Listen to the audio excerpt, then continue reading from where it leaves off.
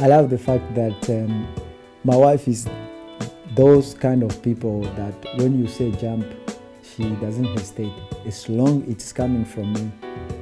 If I say let's jump, she doesn't hesitate. No question asked. Let's jump, jump, we jump.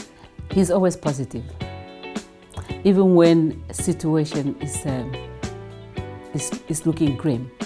To him, it's the same. He always have a positive word about anything, any situation.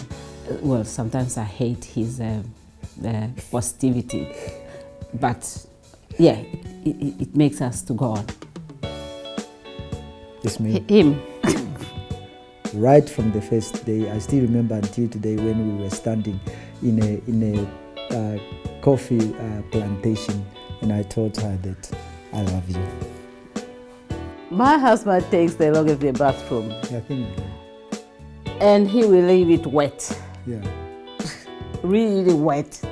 So, to avoid uh, all the all trouble. the trouble, I always tell first. him, I say, let me go first.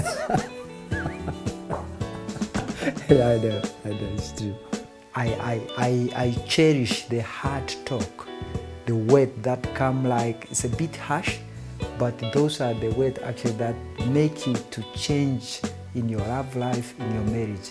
And those are the words that once you change, they will be the pillar of your love life. And in turn, you'll be happy.